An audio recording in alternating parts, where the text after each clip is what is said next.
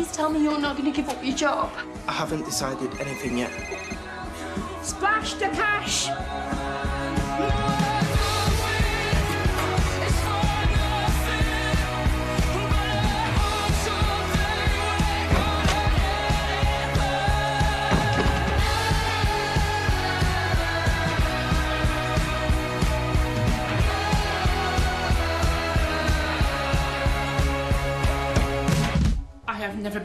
Have never been more embarrassed in my whole life.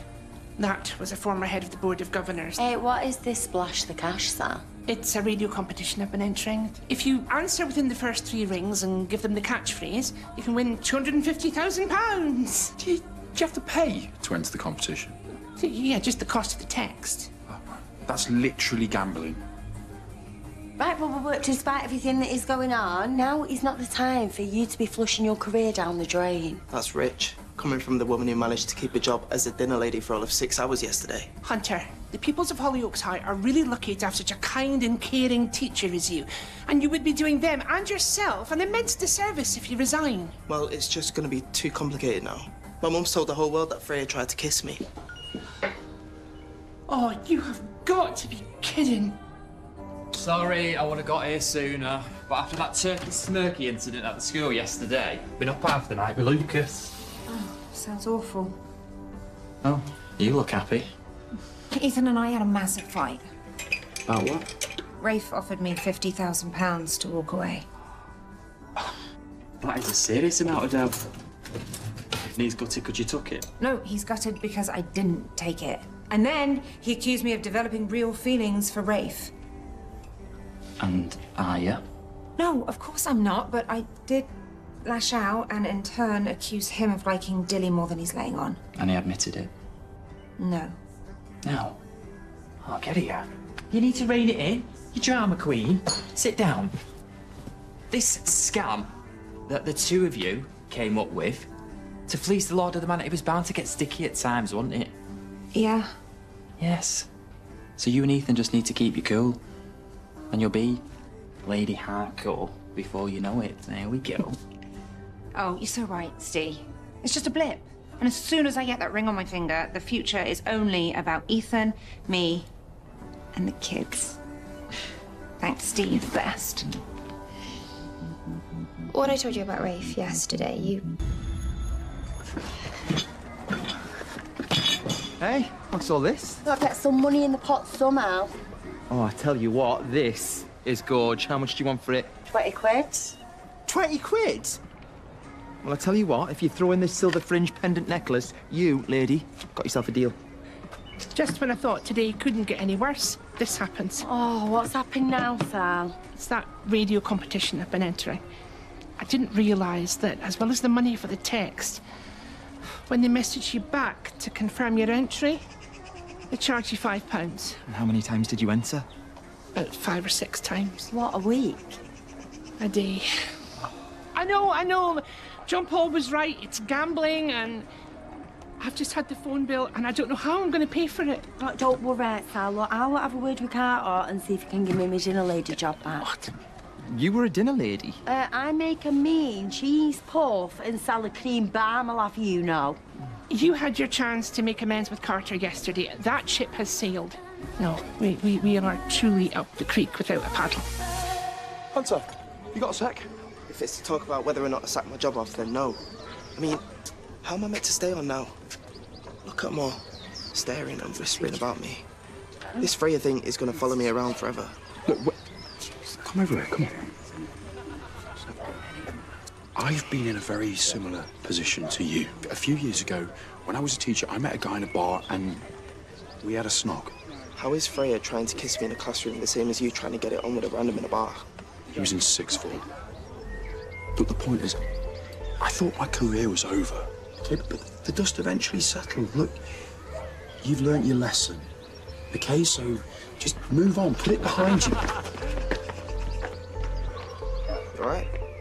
Yeah, yeah, I'm fine, yeah. I'm just feeling a little bit on edge, you know? You cannot let what those idiots did to you ruin your life. I know.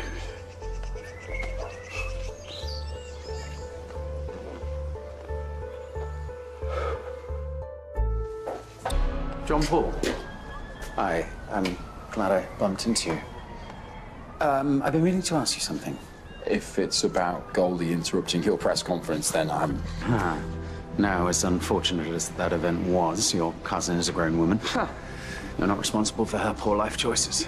No, I was doing some research on the school before the press conference. And you read up about me, I take it.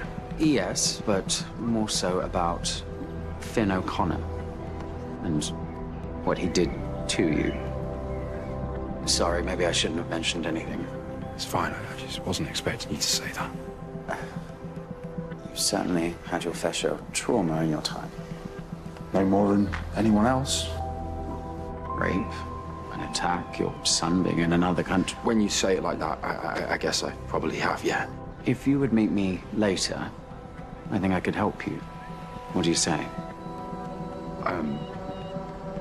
Yeah. Sounds great. Excellent. You won't regret it. In case you'd forgotten, Ethan. What did I say about tucking your shirt in? That's absolutely right. I wish I had a whole class like you. Your time you're wasting, you know. Not mine. No, not quite, but it's a very good attempt. I am so proud of you all. No running. Mrs. Sinclair. Um, reception let me in. I wonder if now would be an appropriate time for a brief chat. Of course. Yeah, you see, after Goldie's brief tenure, I'm, I'm aware that uh, there's currently a position for a dinner lady now available.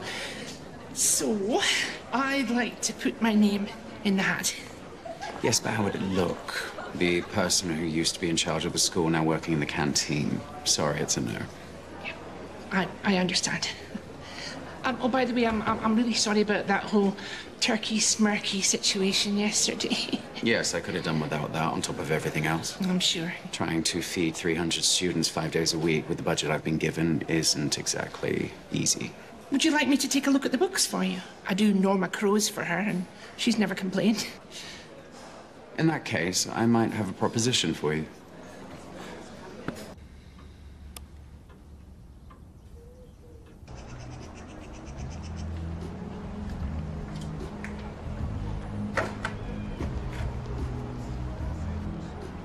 This is such a good idea. In order to move forward, we need to face our demons head on. Just, I, I haven't been back here since I was attacked, and I tried to come back a few weeks ago, and I just couldn't handle it. But you can now. I know you can.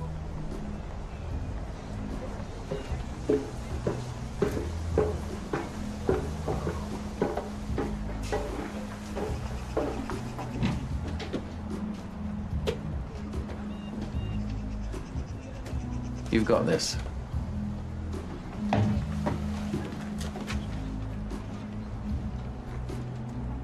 Is you coming or going?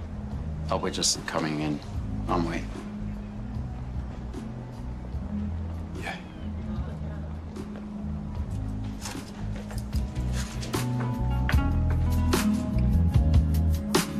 I can't believe it. You were right about him and Dilly all along. I knew he had feelings for her. And now he's using this moment with Rafe as an excuse to go and be with her. Why do things always blow up in my face? It happens to the best of us.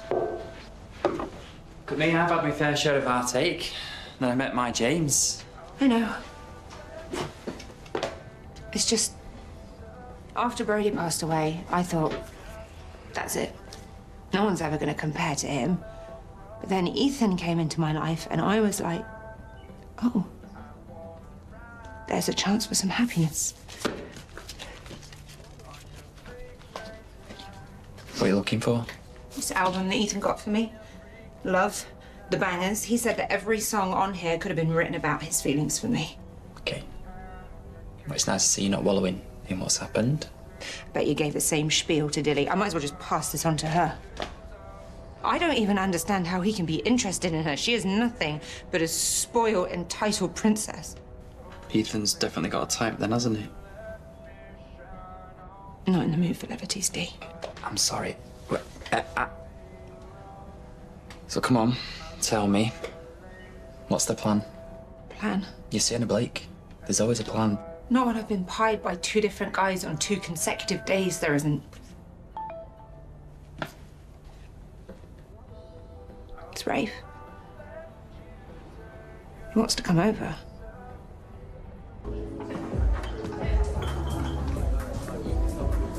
You okay? Been better. Well, the first step is always the hardest. Take it from someone who knows. After that, it's a walk in the park. It's one of these school governors. Excuse me.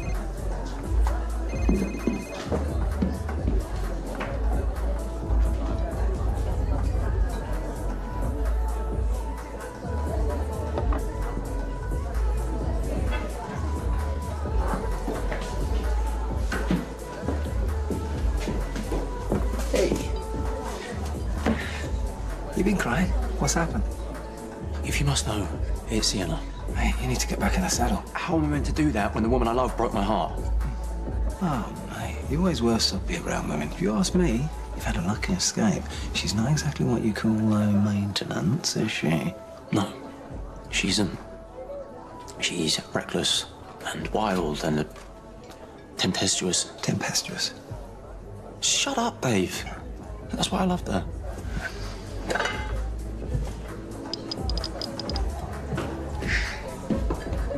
Kidding me? No. So wait, you go to the bingo every Wednesday with your nan? What's wrong with that? Nothing wrong with it. It's like we lead parallel lives. I'm John Paul, by the way. BJ. Sorry? When I was born, for reasons known only to themselves, my parents thought it was a good idea to name me Billy Joel. Well, it's very nice to meet you, BJ.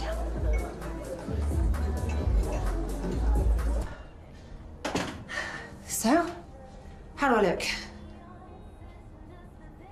Great. Really great. Yeah. You're not exactly runway ready, but considering what you're going through right now, not too shabby. Okay. Hey, what do you think Rafe wants? I don't know. I guess I'm about to find out. Okay, well, should I go and pick the kids up from school, leave you to it? Yes, that would be amazing. Thank you. Good luck.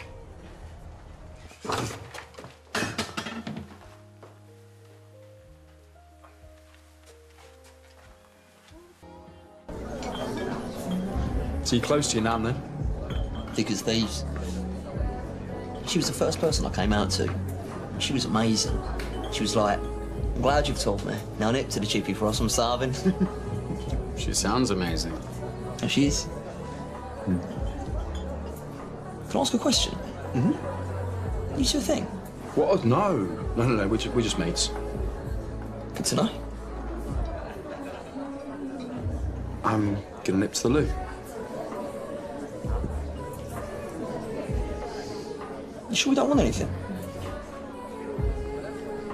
I do, actually. For you to leave John Paul alone. Things get lonely, but my head gets pretty crowded. FYI, I don't usually. Uh, what are you doing here at this time? Attention. Why aren't I surprised? More to the point, what are you doing here? Well, Miss Barnes, you are looking at Hollyoaks High's new bookkeeper. It's good to have you back, miss. Yeah. It's good to be back.